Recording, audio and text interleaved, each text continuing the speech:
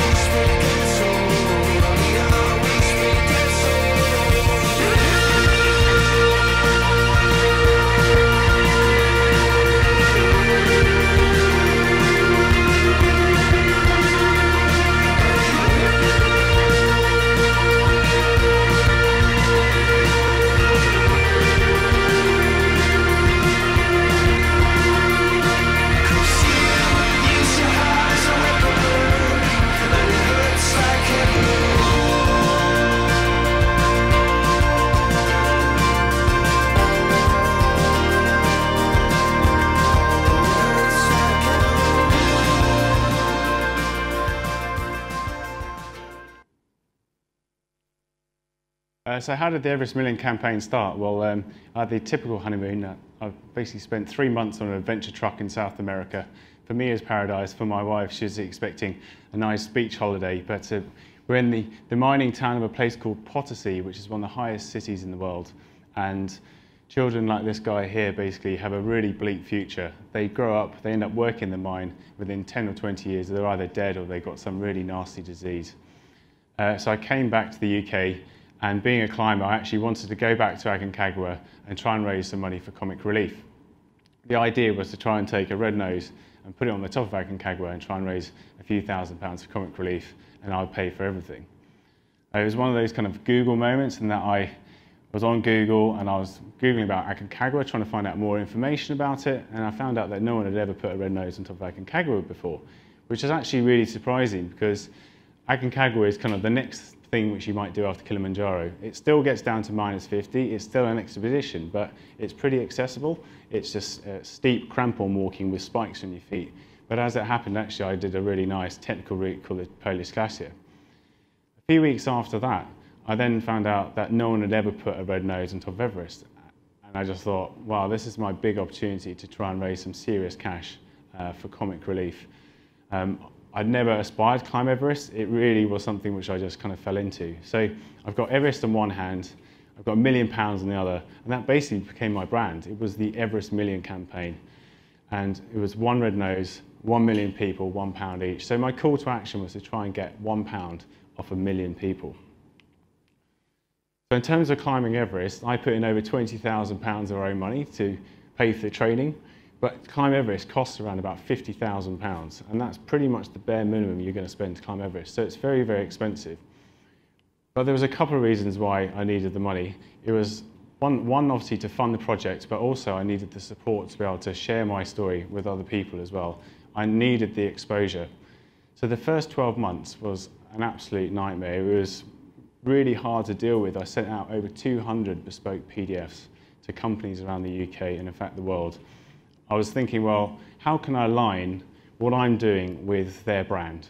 And for me, like for FedEx, I was going to be the red-nosed guy delivering a FedEx parcel to the top of the world, and you could then track me.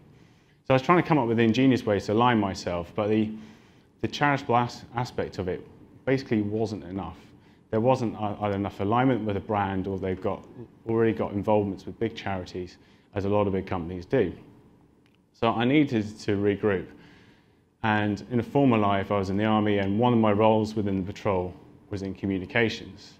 I'm also a big techie as well, so I started looking at, well, what can I do which is going to be different? What's going to differentiate me from, from everyone else? And for, for me, that was technology. As again, I went on Google and I found out that no one had ever done a live video broadcast from the summit of Everest. So I was like, right, maybe that's, that's what's going to differentiate me, but how am I going to do it? Well, I guess I kind of reverse engineered it in a very, very simplistic way. I was like, well, how, how can I communicate from the top of Everest? What do I actually need to be able to talk to someone? Previously, someone had managed to get a 3G signal by almost falling off the mountain, but that was never going to be good enough for a video broadcast. I needed something better. So I started looking towards uh, satellite technology, and there's a few companies out there, and very luckily for me, just two miles down the road was Inmarsat, the world's leading uh, provider of satellite data. But more importantly, in terms of the, the tech point of view, they've got geostationary satellites, which basically means that the satellites don't move. So if you have line of sight to the satellite, you're going to have a really stable connection, unlike Iridium, where actually they're constantly moving around, and actually some of the satellites are actually dead. They don't actually work. So you could be talking to someone, and then all of a sudden it just drops out. So what I first started off with, I went down to Inmarsat, knocked on the door and said, look, this is what I'm trying to do. I'm trying to do the world's highest video broadcast. How do you fancy it?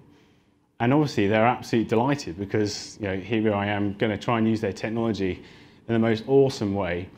And, and they just threw kit at me. They were absolutely amazing to me. Didn't have to sign for anything. They just completely trusted me and just kind of let, let me crack on, which was, which was absolutely brilliant. So I've got the ability to communicate, or so I think. Um, there's a lot more testing to come, but actually, well, now I need a kind of a platform to be able to deliver my video call. What can I use to, to make a video call? Am I going to lug like a PC or a netbook up to the top of Everest, a GoPro connected to a smartphone or, or whatever? I, I, I needed some sort of platform, and that platform happened to be a smartphone because it was perfect. You could do everything from it. You could use social media, you could obviously take videos, it's Wi-Fi, Skype, the whole lot. It's a personal computer in your pocket. So, so that's now what I wanted to use to be able to integrate with a satellite modem. So I've got these two ideas, got no idea if they're actually going to work, but it, it sounds kind of feasible. Um, and then that then meant that I could now try and find another sponsor to come on board. Um, I needed 50,000. Um, I was minimum looking for 40,000 and I just started looking at all the different smartphone manufacturers. And one thing I learned throughout this entire journey so far was obviously aligning what I'm doing with them. And HTC smartphones happen to be running a campaign called As Recommended By. There's nothing more powerful than basically a personal recommendation, basically. Um, so I guess I kind of lucked in really in that I found out about their campaign, I produce all my marketing material, um, aligned around that, and then sent off to HTC, heard nothing, and then all of a sudden I get an email basically saying, uh, the following people would like to see you. And as you do, had, had a look to see who they, who they were, and had the head of, head of marketing for Europe, head of marketing for the UK, head of product. I had some massive people in this, in this meeting. So I kind of knew that it was, it was mine to lose. So now it was, for me, about setting a reservation price in negotiation. So what is the minimum amount of money I want to try and walk away with? Obviously, I want their support, but if I don't get the money as well to help fund the project, then the project's dead anyway. Uh, so my number was 40,000. 40, I went into the went into the interview, into the meeting, and they offered me left, and in the end, I got that 40,000. So, so, so it was green light for the campaign, and more importantly, it wasn't just about the money, it was the exposure which they're going to give me, which was then going to allow me to get a lot more support from kit manufacturers and, and lots of other people as well, including the BBC. So that was a massive part of the campaign. So this is me at the BBC. So we, we got the technology and spent pretty much two years testing it. The whole kind of risk v reward phase. Do we, do we rush in and try and do the summit next year when actually we don't know if the technology is actually going to physically work in the conditions? And as it turns out, Um, someone actually tried to do it the next year and failed because they had it, they suspiciously were supported by Samsung and they tried to take a netbook to the top and they failed. So we were right basically to take the time and develop the technologies and the software. So the next couple of years uh, were, were all about that. It was about developing my technical skills in terms of climbing. I'd already done a fair bit of climbing, but nothing in the realms of Everest or high altitude. And also about developing the technology as well. I guess Mont Blanc was a bit of a freebie in that I climbed that with my wife, but it's really fun. But I've put the picture here in that Mont Blanc, which is the highest peak in Western Europe, is 700 meters lower than base camp at Everest. So you think it's a big mountain, but it's nothing compared to what lies ahead. I did go down to Aconcagua, and this was one of the first, first stages in testing in terms of the, the satellite modems and the actual handsets. So I got to the top, put the first red nose on there. Uh, at the time, I bagged the world's highest Facebook post, uh, live, live video broadcast, and a few other bits and pieces as well. But it's very, very important actually because the satellite company offered different satellite modems. The one as a climber, which I took, was the smallest one. It was the lightest one. But the problems we had with it were that because it was so small, it had to be exposed to the elements, which then meant technical reliability issues were a big, big problem. Uh, and also the bandwidth wasn't as good as, as the larger satellite modems. So, so that was a really good learning point uh, for me in terms of like learning about altitude and temperatures, but more importantly, getting the satellite kit as well. I then went to Scotland, um, did some great climbing up Ben Nevis, started to integrate satellite phones into the project. So from this, I could basically send a text message uh, which would then go via if this, then that, which would then distribute amongst our social media networks, which is uh, really cool. Uh, and also I started to integrate spot trackers as well, which had just come out. So tracking where we move just to see, see how well these will actually pick up my movement. The next climb was Denali in Alaska, and this place is crazy. It, it kind of blows your mind. It gets down to minus 89 in the winter.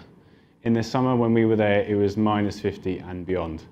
It's a wild, wild place. Um, it's actually technically the highest climb in terms of vertical meters in the world. You get on this plane, as you probably saw in the, um, the little promo video, you land on the ice with a sled and they say goodbye to you for three weeks. Nothing lives. Um, and every night you'd have to set an alarm clock to dig out the snow from your tent otherwise you suffocate because of all the amount of snowdrift and snow which are coming along. So Denali was uh, the next stage in testing in terms of the equipment, so I took a much, much bigger satellite modem. With this one, you could put the antenna outside of the tent, and, and, I, and I literally left it there for days, because at one point we got stuck in the same place for 11 days. Just threw it outside there, all the internals were inside, it had Wi-Fi, and then I was then playing with different handsets, whether it had Android, Microsoft on there, and seeing how the different cameras, i.e. front-facing rear-facing camera, would, would be better for Skype. Because actually, um, although it's nice to have a 12 megapixel camera, the compression was then causing issues in, term, in terms of Skype. It was, it was making it harder for Skype to deliver the best possible picture. So Denali uh, undoubtedly is a wild, wild place, and I didn't actually get to the summit. As I said before, the, the weather was so crazy. People were digging through the bottoms of their tents, literally preparing themselves to lie, die when we were there and it's one of the most dangerous years in over 20 years, um, where actually uh, one day we actually walked over eight dead bodies without, without even knowing it, some Japanese climbers. So crazy place. Uh, this is a little promo, promo picture. Don't, don't recommend this. This is kind of like minus 40 exposing skin. It's everything basically which you shouldn't be doing. So this is kind of like June 2012. Um, by this point, the tech testing is going really well, although the BBC weren't involved, weren't fully involved yet. Um, but things have really started happening. Um, I'm very persistent and basically, even though someone said no, I'd still phone them back six months later. And uh, after 18 months of um, phoning people like Coldplay, uh, eventually they kind of gave in basically. I think they realized that it's going to be easier to give me global rights to all their music than to, to have me keeping phone, phoning them up. Uh, so I ended up getting some great sponsors from Gatorade, Coldplay. Fortunately, Facebook Live didn't, uh, didn't actually physically exist back then. Um, so I had live stream to do live streams into my Facebook page and loads of other guys as well. So from a climbing point of view, I guess that that kind of journey is kind of, it's done. Um, I've done a lot of testing with a kit which I, which I had. Um, we've still got a lot of tech testing with the BBC, and in fact I worked with the BBC for over nine months, going out to Television House, um, working out how best to communicate with the BBC, whether it's through Skype, Google Talk, there's quick links and loads of other software packages as well. So we were very, very comprehensive with our testing, there's no doubt about that. But actually, we haven't actually done the most important bit yet, and that was to start fundraising and to get people really aware of what I'm actually doing.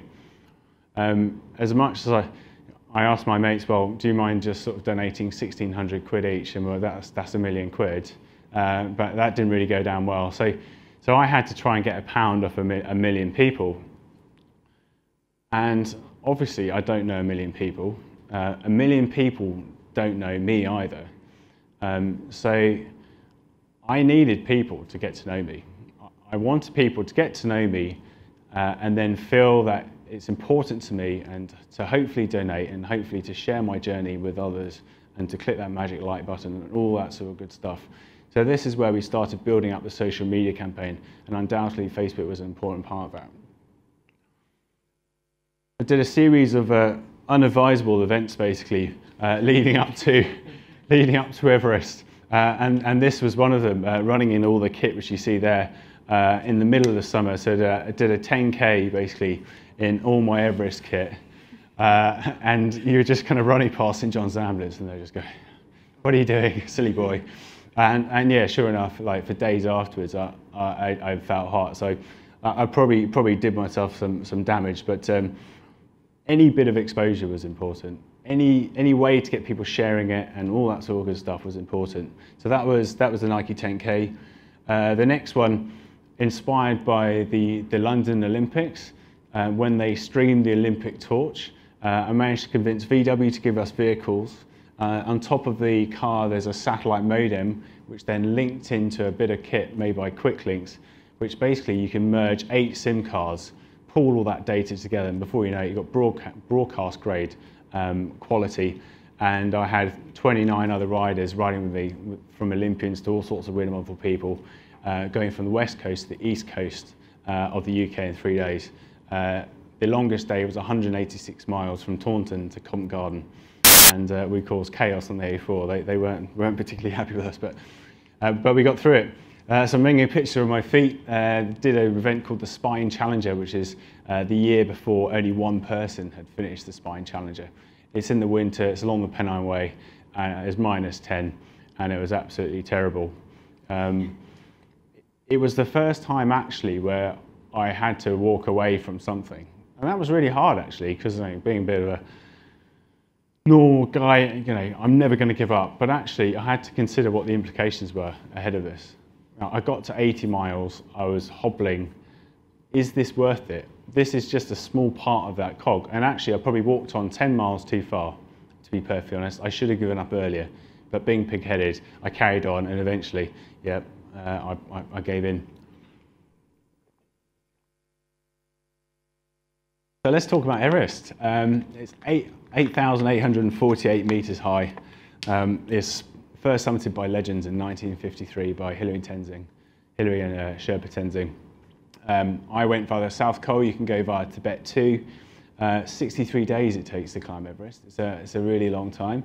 Um, it's 99% boredom, 1% excitement, and the 1% excitement is really, really dangerous. Um, summits over 3,000, one in 20 people die on Everest. Um, it's not the most technical climb in the world, uh, but the objective dangers are very real. And the average temperature on the top is minus 35 degrees.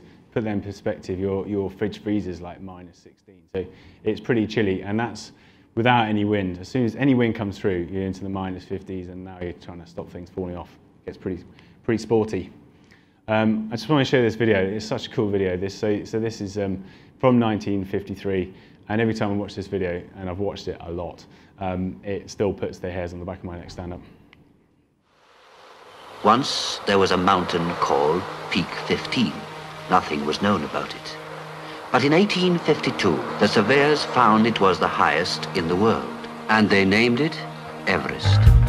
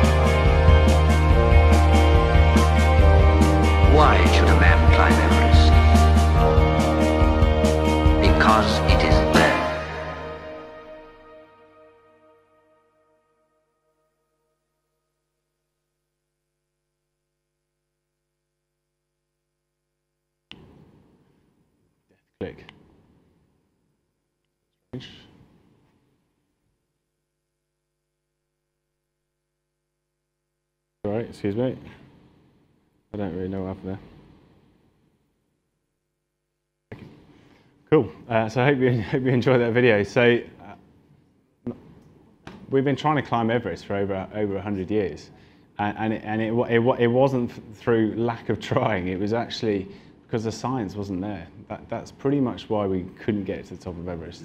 Um, because they didn't understand the science of jet streams, they didn't understand the science of weather, and also they were climbing from the Tibetan side, and literally they had to have hundreds of Sherpas, and over 100 Sherpas, every expedition would die um, because they were climbing the wrong seasons and and climbing from the south side then opened up a different a different way to climb Everest. And and in the 1950s when they had a better understanding about the weather and the oxygen systems that's what that's what gave them that breakthrough. It, it really was science. Um, so you get to Kathmandu, which is this crazy frenetic place, and uh, you get on this tiny aeroplane, which two weeks before they'd lost two of them in the hills. So that's that's really good fun. Uh, and you go up to this place called Lukla, um, which which used to be a gravel, but in, in essence it's the it's the world's highest um, and most dangerous um, airport. Um, it's a very very very very dangerous place. Uh, so you, that's kind of your gateway to the Everest um, Base Camp Trail really cool. I, I reached out to the Royal uh, Geographic Society and they gave me access to all the 1953 footage. So it was, it was an absolute privilege to be there, really, because it was the 60th anniversary of the first summit. So I was getting kind of to follow in the footsteps of, of heroes, uh, of legends, and also getting to compare my journey with theirs. So this is in 1953, uh, and that's in 2013. So actually, not much had changed. People were still having to carry all the stuff which climbers need, which as someone who's trying to raise money to help people in poverty, I really struggle with actually because I'm trying to help people, not actually have them or see people hurting or sweating or you know in pain basically because of me. Um, so that was actually quite difficult to deal with. Um, and you see lots of awesome kids throughout loads of red noses. It, was a really fun adventure getting to base camp. And we deliberately take longer than most base camp track, uh, treks. Uh, the reason being is we want to get to base camp in the best possible shape. Um, acclimatization takes a really long time.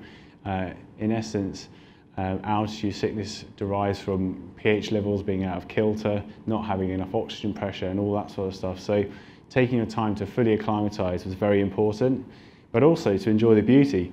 The, the funny thing about the Everest Base Camp um, trek is that actually you spend more time looking at that mountain, which is Ama Dablam, than you, than you do Everest. Uh, very famous sign, you see it, if you put in Everest in Google, you'll see this straight away. Um, and then you finally get to base camp. So no one lives here. Why, why would you want to live here normally? It, you are literally on a moving glacier. Um, it gets very, very cold and for some reason, all us climbers like to pitch our tents on this rocky outcrop on, on, on the glacier and up to a thousand people basically go there for the climbing season. So this kind of village populates. And what's really cool about base camp is, is the fact that actually um, you've all got this one goal. So it doesn't matter what you do in your normal life or where you're from, you've all got this shared goal, which is actually kind of cool and really, really interesting. Um, so we've got tons and tons of kit, and this is just this is just a very, very small amount. Uh, each of us had uh, six of these big, big duffel bags. Uh, I had all sorts of other things, comms tents and all that sort of stuff as well. So in terms of the kit, I thought I'd bring down some of the kit for you to sort of pass around and show you. Uh, so uh, this is the trust, trusty ice axe. So on Everest, actually, we, we don't actually do any ice axing like that. It's not that technical, but we do do a lot of uh, using like this, like a kind of walking stick. And the reason why there's this bit of a gaffer tape and sponge on top is because this would get really, really cold, which then make your hand cold as well, and it makes it more comfortable to hold. And if for some reason you fail, you can then do an ice axe arrest where you then plant this into the, into the ice. So be careful, it's uh, pretty sharp. Uh, these, these are the crampons.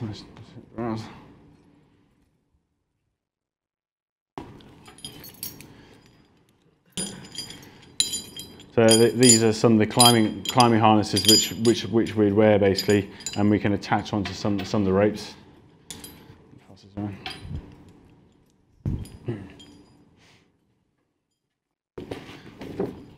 Uh, solar panel gear, but most importantly are these big jackets. And this is just this is just kind of one layer. Underneath here, you've probably got at least another four layers. This will keep this will kind of keep you warm down to about minus 30, minus 40. And as I said before, once it starts going below there, uh, you, you really are just fighting to stop things drop off. The, the kit can only do so much for you, but that is kind of the, the best Everest jacket you can buy. And uh, these are the trousers. So you look like a, a big kind of Michelin man. Uh, so you, you, you're carrying a, a lot of kit on you. It's, it's very, very heavy. Um, but basically, all that stuff is going to save your life, or it's going to keep you alive anyway. So as I mentioned, sorry. Um, at the end, if that's right. Do you mind? Yeah. yeah. Um,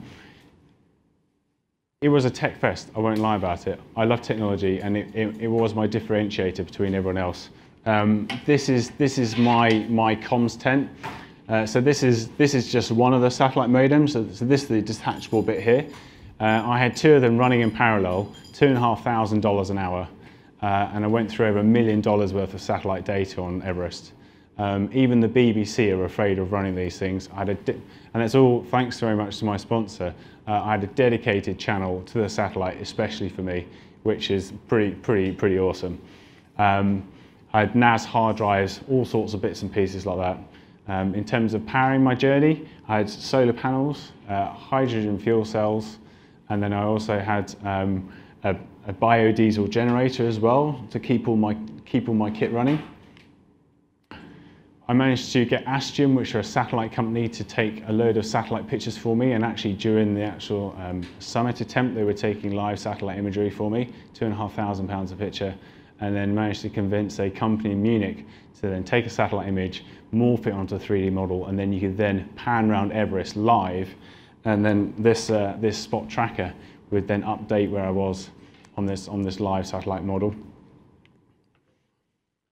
And I guess, I guess this was the real validation with the BBC. Up until this point, all the technical testing had been uh, either over in White City and then and into the new one in Portland Place. Um, but this was the real validation. So this is me speaking to the BBC News channel uh, using exactly the same kit as I was going to use on the summit. It all went really well, and actually the funny thing about it, at the end, he said, the picture quality from you is better than we're getting live from Downing Street, just like half a mile down the road. And, and, as, soon, as soon as I got that validation um, from that one channel, it just went bam. Everyone in the BBC wanted to speak to me, which was fantastic. And actually I ended up doing a series of live broadcasts all the way up to the very summit, which no one had done before. Speaking to um, BBC London, Newsround, Blue Peter, The One Show. I mean, it just, it was kind of endless, really. The requests were, were, were endless. It was great. Social media was obviously fully in action. So um, someone who basically posts me a picture or say something on Facebook, I would put their name onto the tent. This is quite early on in the campaign, but by the end, the tent was completely littered with names. I was encouraging people to try and interact with me and share it with their friends. And then another silly thing which I did, but there was a field hospital at Everest, um, some doctors from Guy's and St Thomas's Hospital were basically looking into why people with low, low oxygen saturation rates, why some people live and some people die. Um, so they're getting a lot of volunteers all the way up to base camp, and then they have this field hospital where they then make uh, volunteers um, do a VO2 max test, and you've only got half of the amount of oxygen which you'd have at sea level, and that's all because of the pressure. It's not because there's no oxygen; it's just it's all about the pressure. Uh, so I stream streamed this live as well, and uh, yeah, felt the effects for quite a few days afterwards. Every, everyone in my climbing team was going, "You're mad," because you spent all this time preparing for Everest. Again, why are you jeopardizing it? But I had to do everything I could to try and share my journey. Uh, it was my focus. I needed to raise that million pounds to those kids, which I saw in Bolivia. We're live from Everest. It's a bit of fun. From here, you're going to be able to join me at the very top of the world.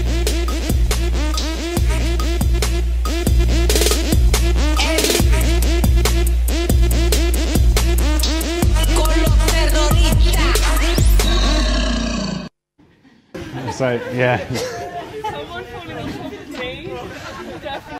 bit, a bit of fun and, and the world's highest Harlem Shake. Um, but you can see there actually at Everest Base Camp, it's, uh, it's kind of interesting because uh, obviously your, your, your brain is programmed as to how fast, how fast you can normally move at sea level. You can run at this pace or you can walk at that pace. Uh, and you still got that kind of hard tune in, your brain, but your body disagrees massively. So you know, people are actually genuinely knackered having like dance for 30 seconds. It's, um, it's kind of fun.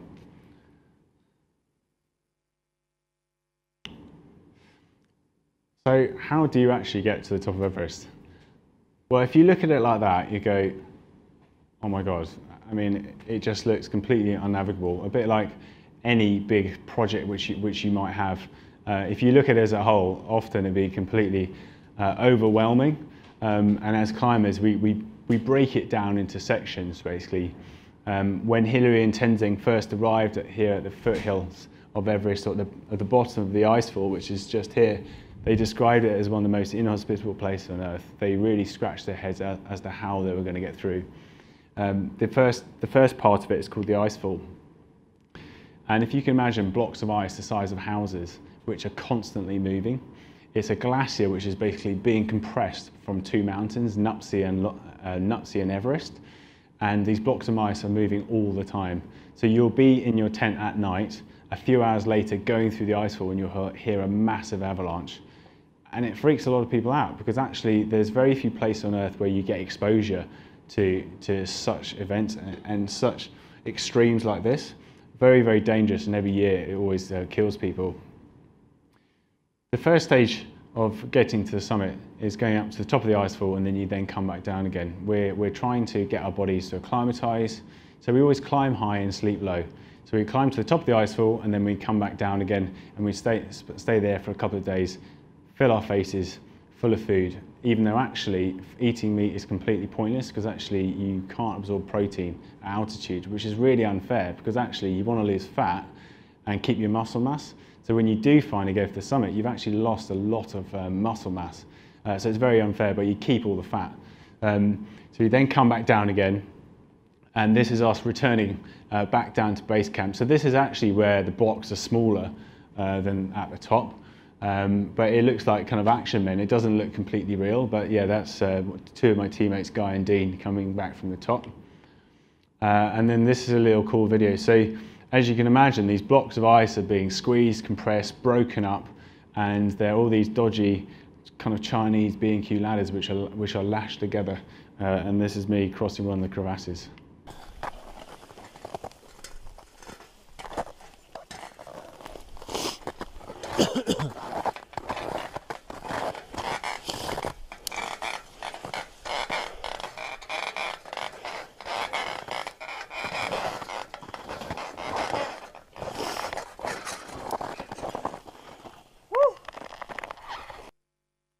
So there's plenty of those, and actually by the end, the actual ends of those ladders weren't even attached. So it's basically like a ladder magic carpet, um, which even though you're clipped in, uh, seems like everything's going to be all right. A lot of the ropes on Everest are, are complete placebos. Basically, they can be up to 50 meters in length, and the the carabiners which you have are completely loose, so you can slide up and down them. Uh, with this one, yeah, it will stop you falling into there, but it's going to be an absolute nightmare getting out, and it's definitely definitely going to scare you. So you go back down to base camp, you come back up again, and then you get to the Western Cwm, which is at the top of the icefall and then before Lhotse, the Lhotse face. It's just this really horrible, generally cold, long drag. And eventually you get to Camp 2, which is kind of like a bit of a, an advanced base camp. There's a, there's a very basic cook tent and there's a toilet and stuff like that. So it's a little bit more comfortable than, than later on. You go to camp two, you then go all the way back down to base camp again. There's a bit of a theme here, and then you sit there and you then wait again for the weather to get better. And then eventually you then go up to the Lhotse face, which is a thousand vertical meters of, uh, of ice. It gets a little bit of sun in the morning, uh, and then it's in shade for the rest of it. So it's really, really slippery, and people, people die every year on it.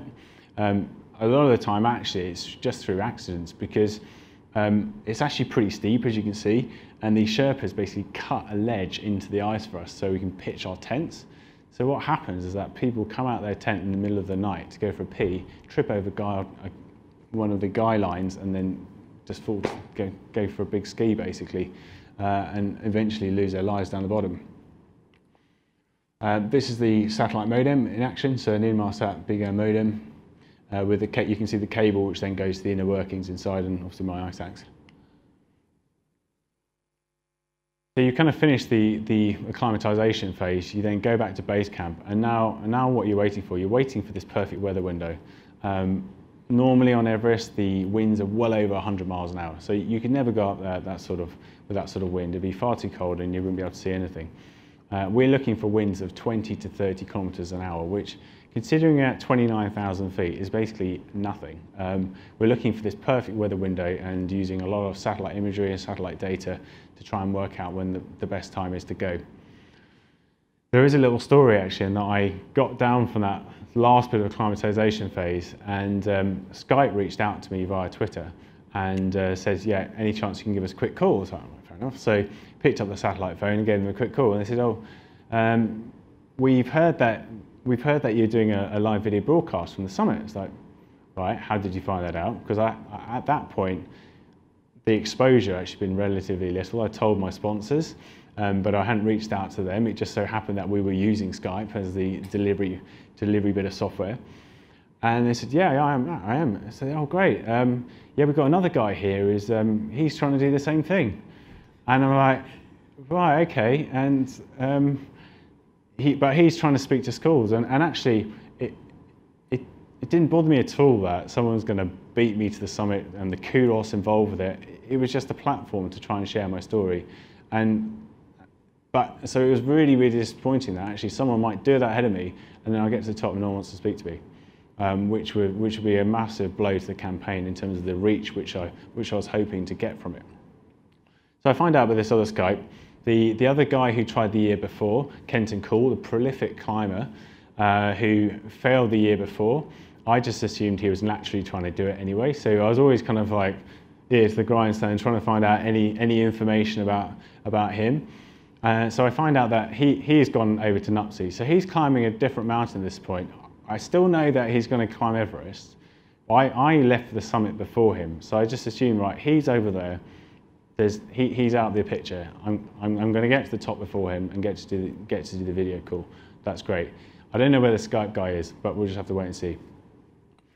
So eventually I get going for the summit and you get to Camp 2. Uh, you spend a night at Camp 2 and then you then go up to, up to uh, Camp 3, which is a Lhotse face, which is over 7,000 vertical meters above sea level. Uh, in that morning, I was absolutely devastated. It, it, takes a really long time to get your body going because, um, I don't know, it's just hard to oxygenate your body. It, it, takes like half an hour, an hour, just literally just to start putting your legs one in front of the other. It's something, something which you just take for granted. Um, but this morning, I, I, I, literally just couldn't move. I, I was I was almost in tears. I, I was kind of plodding along as slow. I mean, literally like that. It was, and I, and I just I just couldn't move. I felt absolutely paralysed, and I thought all this all this preparation, all the people I'm trying to help, my sponsors, the whole lot. I'm just about to throw it all away. Um, but I just it was yeah, it's just one of those moments where I just kind of kept on plodding along. All my teammates had basically left me, uh, so so they're gone, and I just kept on plodding, and, and then I don't know whether there's some sort of divine intervention or something like that, but just something happened. And somehow I managed to regroup. And I managed to get up to Camp 3. And uh, uh, yeah, there's a little word in here which I use a lot, and that's epic. Uh, here we are on the fixed lines. Looking down there on Camp 2. I can't tell you how hard it's been so far epic and seriously cold as well. Oh, my feet are just starting to warm up again. The sun just starting to uh, us, which is nice. And uh, good job we got the old helmet on. We've been smacked by a rock, which wasn't very much fun. But yeah, just pan you up there. It's the rest of the guys. Yeah. This is, uh, this is called the Lhotse face. It's basically all ice. And, uh, oh, epic. Absolutely epic. To say, I was pretty tired. It was pretty epic. Um, but yeah, I got I got up to uh, got up to Camp Three and uh, Camp Camp Three. So you get a night there, and that's actually where you start to go on oxygen, albeit on a, a very very low flow rate, about half a liter a minute, and it's and it's pretty much um, just to make you that a little bit more comfortable when you're sleeping. Uh, sleeping at high altitude is an absolute nightmare. You don't sleep properly on Everest once, um, and the reason for that is, as I mentioned earlier. Um, about your pH levels being out of balance. So, uh, so your kidneys need loads of water, so you end up drinking a lot of water, but you obviously can't absorb it. So the, the standard kind of routine for sleeping is to drink as much water as possible to help your kidneys and also because there's very little ambient humidity. Um, and, and then you then put your head on the pillow, your heart is racing about 1,000 miles an hour even though you're not doing anything because it's trying to oxygenate all your cells. Uh, you then fall asleep, wake up, need to go to the toilet, it's minus 30 outside, fall asleep, need another drink, wake up, toilet, and it just, it just goes on like that basically. It's an absolute nightmare. Um, and, and it's even worse as you go higher up, so a little bit of oxygen just helps you try and get that little bit more sleep. So we end up um, leaving the Lhotse, uh, the camp at Lhotse or the Lhotse face at five o'clock in the morning. Um, we then go up towards the yellow band, and then what's called the Geneva Spur. It's called the Geneva Spur because the, the Swiss basically named it. And I was going towards the Geneva Spur, And guess who I saw coming straight towards me? This like bright blue person. He's got Skype all over him, and I was like, uh, so I'm like, so I'm, I'm obviously dis- I'm obviously disappointed, um, and and I'm now thinking, well, if he's already done it, you know, am I am I going to change my attitude to risk? Um, I'd already set with the team gates, i.e., places which I where I wanted to be in in terms of space and time, um, because I know the amount of pressure I was going to be under. It's going to be a huge amount of pressure to get to the summit, and by having these gates where I go right, I want to be at a certain place by a certain time, and then what am I going to do if I don't hit it at that time? i.e., am I going to turn around? I would have a defined plan already in place, basically, so it just removes all that decision-making process. So I see him come towards me, and just to add insult to injury, he's like best mates with one of my teammates, uh, who's a, a, legendary Antarctic um, explorer. Uh, not that he told anyone, he's got multiple records on Antarctica. Has a good old chinwag with him. I carry on plodding along, and then eventually plucked up the courage to go to Christian, my teammate, and say, hey Christian, how do you know that guy? This guy called Mark Woods. And uh, I said, oh yeah, yeah, I know him. I've been on the Antarctic with him. And, uh, and I was like, did he get to the top? He's like, no, no, he didn't get to the top. He got to a place called the balcony, which is actually not that far up from, from the high camp. So now all of a sudden, I'm now re-energized. I'm like, right, okay, so, so it's back on. Um, I, you know, bit of a, if, I, if I could skip, I would be skipping up the mountain. Uh, and that, that, that sort of um, optimism lasts for about another hour, where the guy who was climbing Nuptse then went streaming past me. And he's Kenton Cool, he, I'm not sure if he's now got the record for the most number of Everest summits. He's a prolific climber. Uh, I'd have no hope against him basically, but he went straight past me. So all of a sudden, I'm now sinking down to those lows again. So it's kind of like this massive emotional roller coaster. Um, but eventually, uh, you get up to the South Col, which is at 8,000 metres above sea level, so it's about 26,500 feet uh, above sea level. And it's a really desolate place. I mean, you can't really tell it from here, but uh, it's, it's basically in between uh, Lhotse, which is another 8,000 metre peak, and, and Everest. And the wind just whips through there. Even when we were there, nice day, 40 miles an hour, uh, often over 100 miles an hour, and tents, equipment, and people just can't handle that sort of battering. Um, so a lot of stuff is like broken, a lot of stuff is dumped because actually people just don't want to carry it down. Um, because you spent 50 grand in your trip uh, and you, you, you're worried about a $400 sort of oxygen cylinder. So people do end up littering it there. So it is a bit of a state actually, the, the high camp. So at the high camp, you go out, you try and find some snow. Not there's, which in itself is uh, easier said than done. You end up melt, melting it, so you might get like four pots of snow, and depending on the density of the snow, you might get like a can of Cokes worth of water after like an hour of trying to boil water. It's, you know, it's so frustrating. You try and get some food in, and, then and then you try and get a, a bit of kip in as well, which is nigh on impossible because you are bricking yourself. You are just about to go into the area where all the films talk about and all the highlight the death zone from this point onwards, it is nigh on impossible to get you down. Um, up until here, it's possible for people to be able to carry you down. It's still very, very steep, but it's possible. Um, but no helicopter support. Up there, you really are on your own. And there's a bit of an unwritten rule, really, that if something happens, then people can barely look after themselves, let alone get teammates down. So very often, if you have problems, then, then that can be the end of you. And, and it could be something as simplistic as losing a glove. Um, we call it the Swiss cheese model, where you have something very small. So you lose your glove, your hand becomes cold, you're now having difficulties with your climbing gear, you're now much slower, you run out of oxygen, you become hypoxic, you die. Something like that, and it sounds, sounds terrible to say it like that, but, but that's, that, that's what happens. Something really innocuous can cost you your life.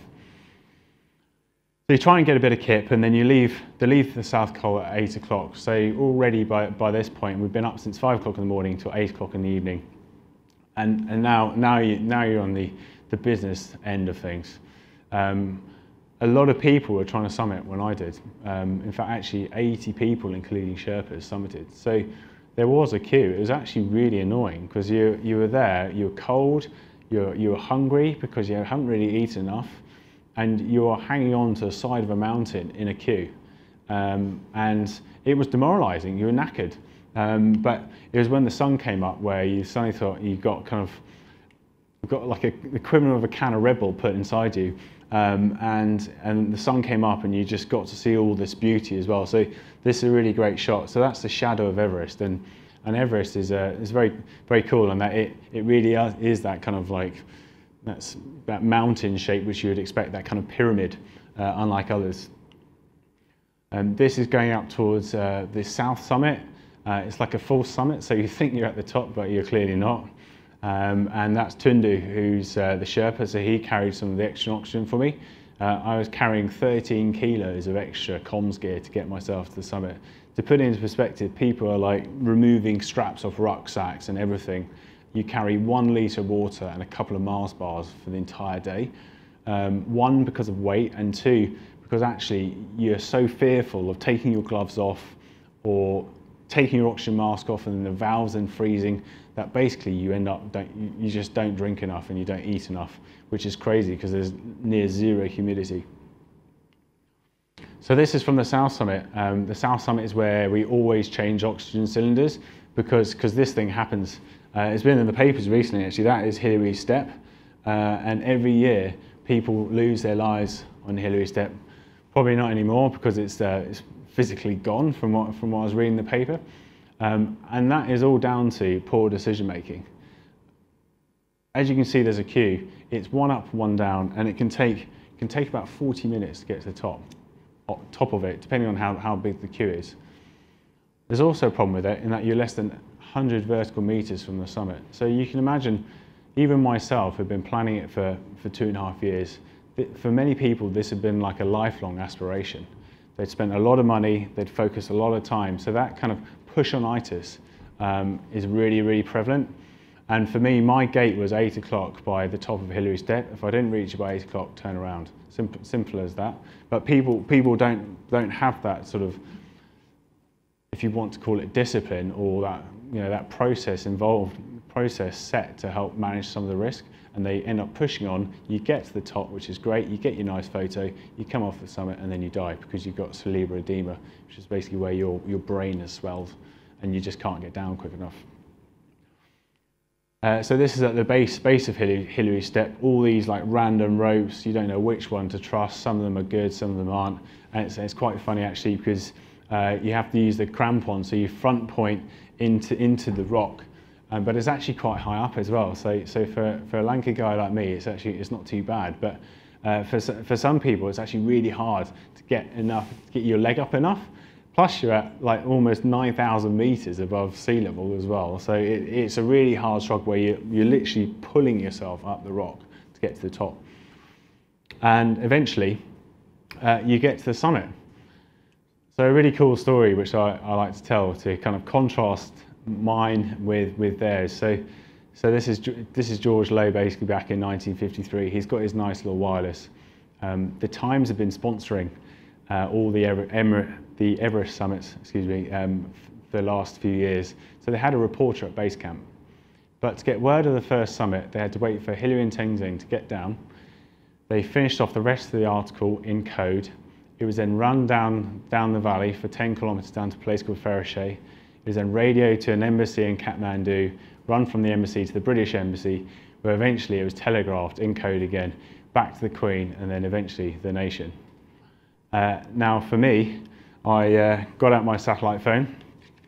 Come, sir. Uh, I phoned up the, the back end uh, of the BBC News channel called SCAR. Um, I then set out my satellite modem, which actually was really difficult. And actually one thing I didn't really think about in terms of actually it needs to be on a relatively flat place. Uh, so, so I had to basically stake uh, my ice axe into it and then get Tundu, my Sherpa, to hold my oxygen bottle. It was a bit of a, you know, it, it was actually quite awkward. Extended out, extended out the phone and, and then via Skype basically started making the video call and for me, I was uh, audio in, um, but video out to try and get the best possible bandwidth. And this is what happened. Hello, you are watching BBC News. We are interrupting our scheduled programme now to take you to the live shot that we have at the top of Mount Everest, which comes to us courtesy of the British explorer Daniel Hughes. He has just scaled the world's highest peak. He's trying to raise money for the British charity Comic Relief. And this is a very special moment indeed because Daniel is in vision from the very top of the mountain. He is 8,848 metres above sea level. Daniel, amazing to see you there. How do you feel? Well, it's uh, been a, a very hard 24 hours, I'll be honest. Uh, we went up from Camp Phillips to high camp uh, yesterday, yesterday morning, and then I've literally walked for 12 hours uphill. But you're right, it's a very special day indeed, uh, for two reasons. Uh, one, because of the nose. This is the highest ever nose, and there we go. And I stick it onto my uh, face there. I don't know if you can see that now. So that's the highest ever red nose. I'm trying to raise a million pounds for comic relief. It's also very special because, as you can see, this is the world's highest live video call. Never been done before from the uh, the rooftop of the world, and I'm just punning around here. Hopefully it's not too windy. So, uh, just in case you were wondering, uh, I don't have a cameraman with me. It's me and a pole, an HTC smartphone, and an Inmarsat and of And of course my red nose. Uh, it's a very proud moment to be here. It's uh, two and a half years in the making. Daniel, it's fantastic. Could you do us a favour? We can hear you very clearly, by the way, and the picture is fantastic. Can you pan around to give our viewers the view that you can see from the top of that mountain? Uh, I've got to introduce my Sherpa here. I wouldn't be here without Tunde. He's an absolute legend. He, uh, he's been helping me for the last few days. Uh, the Sherpas, no one would get to the top of these mountains without them. So, uh, massive thank you to Tunde. And, uh, oh, just about to step in a big hole. So I'm just going to pat around now.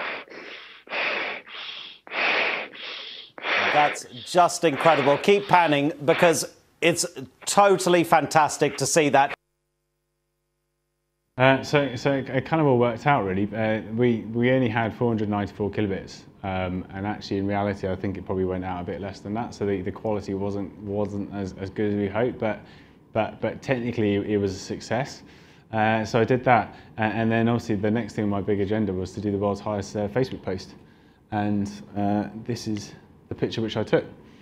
Um, so so I've actually got I actually took one of my big gloves off. Um, to, to take that photo and you can see I've got like a, a little electronic sort of thumb. Uh, I took my glove off for minutes view and by the time I put my, my glove back on it com completely iced inside. I had to basically crunch it because obviously there's some ambient moisture inside the glove.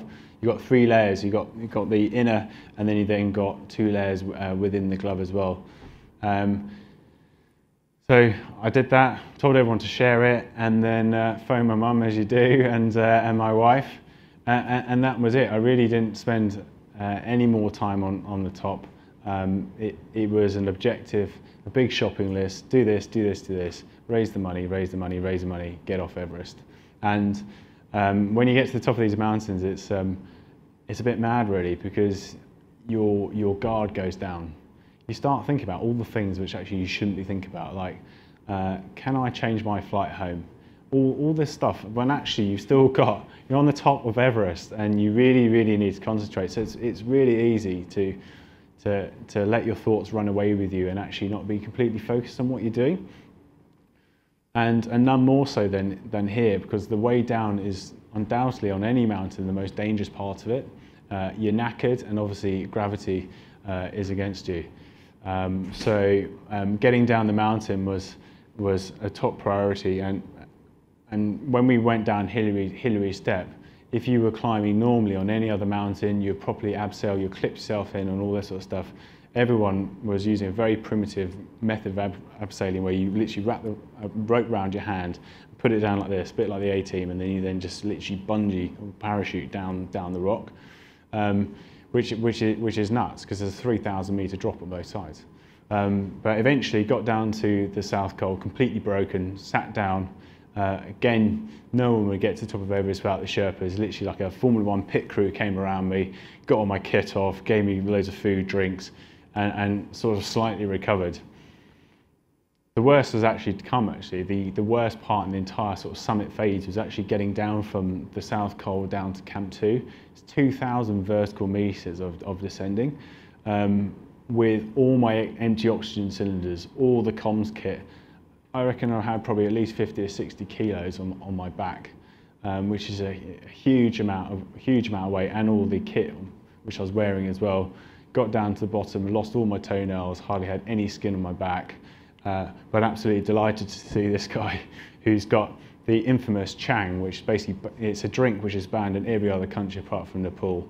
Uh, God knows what's in it, but it tastes absolutely delicious, but absolutely broken. Um, got down to Camp 2, didn't really get much better than, than that really in that um, I left early with one of my teammates, Dean, and, and to say we fell down the ice icefall is an understatement. We, we were wasted. It's, it was so dangerous. Um, fell down the icefall and then, and then got down to base camp and that's when actually everything hit me. Up until that point, there'd been a series of objectives and goals. Do this, do this, do this, do this, do this. Right, check, check, check, check, check. Managed to do that. Got on, sat on that rock, and like I was just overwhelmed with emotions. Really, it'd been two and a half years of effort, all that danger, all the worry for my family and friends and all that sort of stuff, it just kind of, I, I hadn't, that, at that point, I hadn't really had time to process what had just really kind of happened. Uh, albeit there's still a lot of work to do in terms of the campaigning, but it was a massive relief point. Um, and then, uh, very excitingly, Skype basically paid um, for myself and one of my teammates to jump in a helicopter back to Kathmandu. That was pretty cool.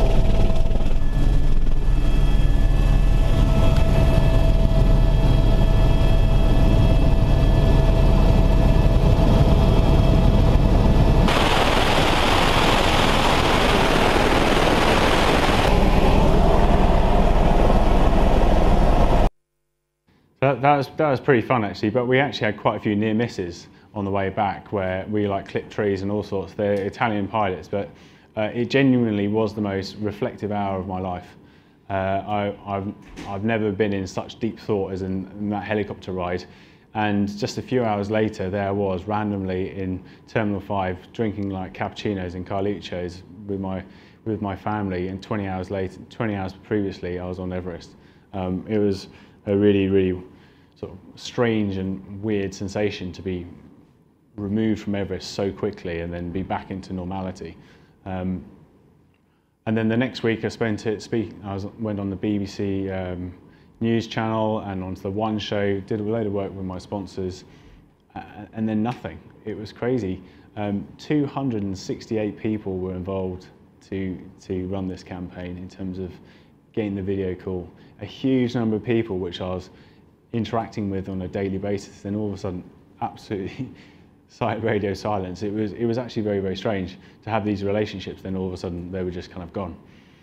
Um, but one, one last uh, nice thing about the campaign, I guess, was that the Science Museum reached out to me.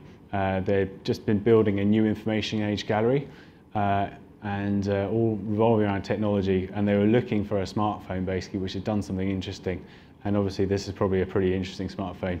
Uh, so all the, all the kit is now in the Science Museum archives and, and the phone is now in the Information Age Gallery.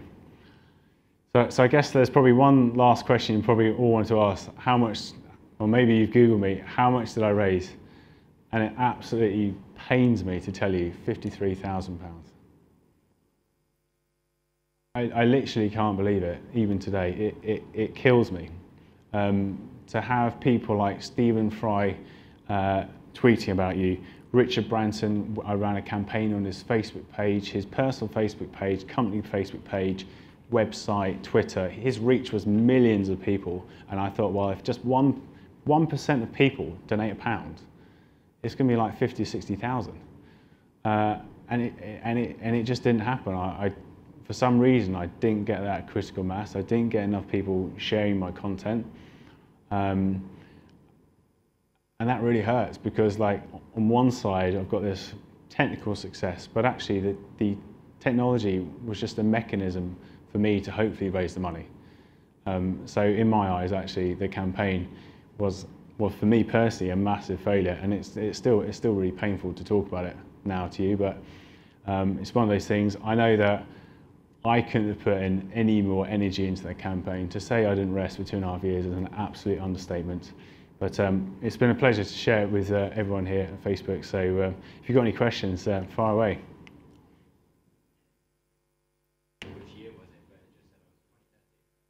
Yeah. Doesn't work. Oh yeah, it was 2013. Yeah, was so the, you 19th of May 2013, Okay. which um, I suppose is, is a reasonable amount of time away, but uh, every time the Everest season comes, comes it, it feels like it was yesterday. The, the, the memories uh, which I have from it are completely ingrained. I feel like I could trace every step in my, if I close my eyes. I mean, it, it is such a powerful experience um, that, yeah, it really does feel like yesterday. And what would you have done differently if you did it this season or say 2018 season? Um, if I could, I would have increased my budget, and I, and I would have had a dedicated team in here in London pushing the social media aspect more. Because I, I actually took a guy with me to base camp um, with the idea of him being kind of a base camp manager for me, um, but he on day one of the trek hurt himself and had to be casevaced out. So I was left basically doing everything. And you know, a big problem on Everest is, is actually boredom. People, you, there's a lot of sitting around. Whereas I was, I was like the polar opposite. I was, I was manic. I, I didn't, I didn't rest because I was basically trying to do what our social media team was doing. And also, uh, where my sponsors like HTC were driving social media, but it was all about their content. It wasn't necessarily driving people to my website to donate. Um, so if I could change anything, it would be that. I- would have had like a crack team here in London, basically trying trying to help me with that. Um, yeah, it was difficult.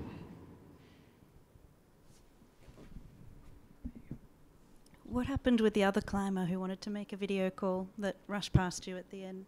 So yeah, that's a good question. Um, so in the end, he didn't do it. He didn't actually have the kit with him, and um, yeah, I, I kind of I, I, I talk about that um, in some of the other things I do in terms of you know that sort of corporate intelligence. Um, in, in that I was completely wrong. I just I just assumed that he'd have the kit with him, but actually but actually he didn't. So I was potentially risking myself or not risking myself enough because all, all the information I had was was rubbish. I probably should have actually just gone up to him and said, you know, are you gonna are you gonna go and do the video call? Maybe he would have told me, maybe he wouldn't have, but uh, yeah, no. So so no, he, he didn't do it. So I was, so I was lucky. Uh, how many people did you have uh, on the mountains to support you on the team? So like, how many people did you have climbing with you on? Uh, so, so in, in our team, um, Jagged Globe, which is one of the, is the company I went with, um, so they're really cool in that they're one of the founders in terms of like commercial climbing on Everest. Uh, there was there were ten climbers in our team, and and they, they actually select the people they take, which is is actually really important because because I wanted to make sure that I had the right skill set to go and climb Everest safely. Because the, the day before I summited, um, some bad weather came in, and it was a classic example of why you need to be technically able to actually climb Everest on your own. Because there are unscrupulous companies, pay them enough money, they'll literally just kind of drag you to the top. The bad weather came in, all the Sherpas just ran for the hills, and everyone was left on their own. So it would literally be you fighting for your, for your life. And, and if you don't have the right skills, then, then you're going to die. Um, I think people forget about that. They, when you see that thing, something is achievable, and, and even for myself, when I was at the bottom of Hillary Step, I knew that someone had been up the top before. So that's kind of quite comforting. Um, and I think people look at Everest and go, right, well, 200 people summit each year, so you know, it can't be that difficult. But it, it's, the, it's the environment around you which is, which is will really bite you if you're not careful. Uh, I still continue climbing right now. Say? I continue climbing. Uh, I've sold all my high altitude mountaineering kit. So, um, and I, well, I, um, apart from that stuff, um, which is obviously all fully branded, no, I don't do any high altitude. I, I do, I do some other small climbs, sort of ice waterfalls up in Scotland, which, which actually is far more technical than Everest. There are far better climbs than Everest, and would I recommend anyone to go climb it? I would say probably no, actually, because I enjoyed the climbs before Everest more than I did Everest itself. Um, there's a lot of people, there's a lot of danger, and it's a lot of money. um, you can get have just as much satisfaction from doing a bit of glaciers and, and the Alps and stuff like that with your friends. Um, did you see like a lot of dead bodies or general like artifacts of previous expeditions? And just yeah, no, no, it, it, it's a good it's a good question, and it gets asked every time. Yeah, so I saw t- I saw two dead bodies when I was there. There there are a lot of there are a lot more a lot more bodies because they they get kind of left. Um, the reason why I didn't see more is actually because you spend half the time climbing at night. Um, and the reason we climb at night is because it's a more stable environment to climb. There's, there's less, you know, the ice is li less likely to move. Um, so that in itself is, is almost like a bit of a comfort blanket because you can't really see how, how much you're exposing yourself, the risk, because you just got a, like a head torch and you're kind of a bit kind of focused. Um, but yeah, there, are, there are a lot of dead bodies up there, uh, without a doubt. And they, you know, one, one of the people I saw, you could see like weathered skin and all this sort of stuff. Was like leather. So nine people died when I climbed Everest. Um, so there's a very real danger there, without a doubt. So you mentioned that the costs associated with the expeditions with the expedition were 20k in training and 50k in the expedition itself. How was the money distributed? What kind of training was it? Um, so the so the, the, the training were were was all the climbs all the climbs which I did in the presentation. Um, so Mont Blanc, uh, Aconcagua, Denali, um, Scotland. And it's very, very important for me that basically every single penny went to Comic Relief, which is why I basically bankrolled. I, I started up the business, if you want to call it that. Um, because I wasn't in it for a free climb. I, you know, obviously it's great to get to the top of Everest, but actually it wasn't, it wasn't a lifelong dream for me. And then the 50,000 is, uh, is pretty much all costs so to, to actually go with the company, it's $53,000 to go with the company. Uh, they, they, they need all your specialist equipment, airfares, and all that sort of stuff as well. So, and, and I did pay for an extra person to come with me, uh, albeit he lasted one day. So, so that, was, that was not money well spent. Uh, and I kind of wish that I hadn't done it, but you know, it's one of those things, right? Uh, how many other people got to the summit the same day as you, and how many days a year are there where you can get to the summit? Sure. So um, about 80 people summited uh, when I did, uh, and it works out about 50-50 in that everyone has a Sherpa, so about 40, 40 clients, if you want to call that.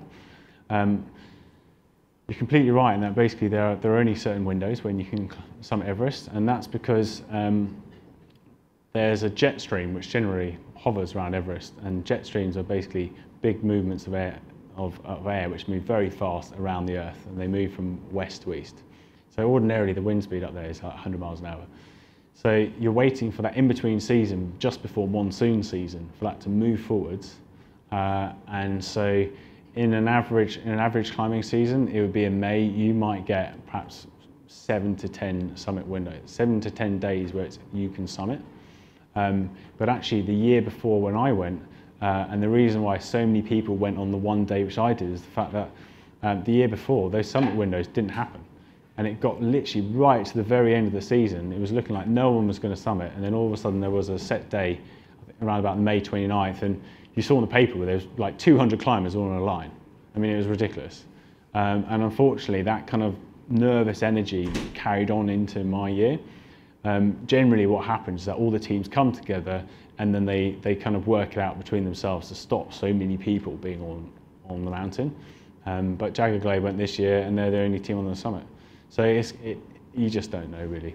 Um, but yeah, there's, there's only, you can summit in May, you can summit at the end of September, October. So basically before and after the monsoon season.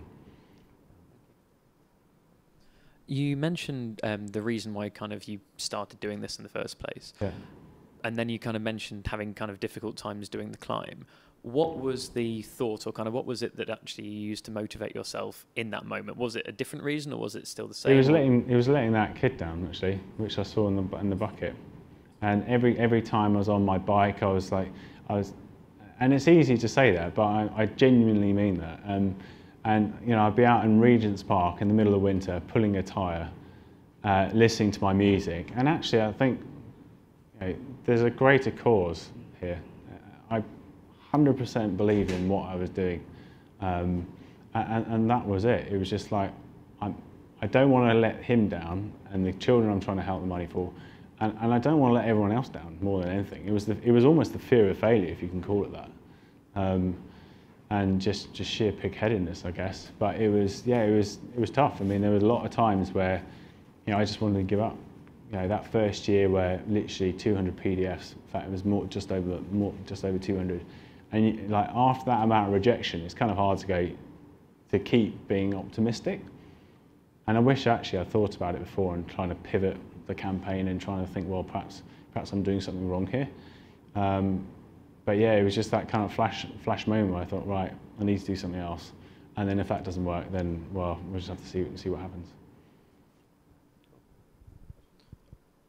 Uh, did you or somebody on your team require any like special medication to cope with the lack of oxygen? Yeah, so um, you can you can take a drug called Diamox. Uh, I, I never took Diamox, and with altitude, it's a funny thing in that um, there's no test which you or I can do here to determine whether you can or can't climb above 4,000 meters. There does seem to be this kind of invisible barrier around 4,000 meters. Just some people just can't do it. You could be the world's quickest ultramarathon athlete and not get above it, and you could chain smoke 80 a day, and you can get above it. I mean, there's just it's just it's just one of the one of those things. Um, so a lot of people uh, take Diamox to kind of cheat your body to make you acclimatise quicker. But the, the real downsides about that is that it dehydrates you even further and it makes your fingers and toes go tingly, which is a really bad thing because actually uh, you need those senses to feel whether you're actually getting frostbite or not. You know, a lot of the time your hands go very, very cold anyway, so it's a really fine line to go, well, are my hands just really cold or am I starting to get frostbite? Um, but any, any, thought, any sort of thing like that where I thought, actually, I'm depriving myself of senses. Because my biggest fear on Everest was, was not actually losing my life, it was actually losing my fingers or my toes. Something which would actually impact me afterwards. Sounds very selfish, but you know, if you lose your life on Everest, then you don't have to deal with the fact you've lost three of your fingers. Um, it, it, it, sounds mad to say that, um, but those sort of crazy thoughts going go into your head. Um, yeah, I was very very nervous about frostbite, and in fact, I mean, I wore huge amounts of layers to the top. I deliberately ran a bit hot to make sure that I didn't get cold, which can go against you because if you sweat too much, you can get cold if you stop. Um, but yeah, I deliberately ran hot to make sure that my core wasn't taking any way of my any any of my nice warm blood from my extremities, because that's when you get frostbite, when you get cold.